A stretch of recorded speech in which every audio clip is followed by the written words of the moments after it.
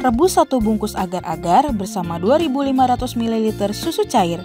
Tuangkan 150 ml sirup leci, masukkan 50 gram gula pasir. Tambahkan setengah sendok teh garam, masak semua bahan sambil diaduk sampai meletup-letup. Tuang ke dalam pinggan-pinggan kecil, sajikan dingin.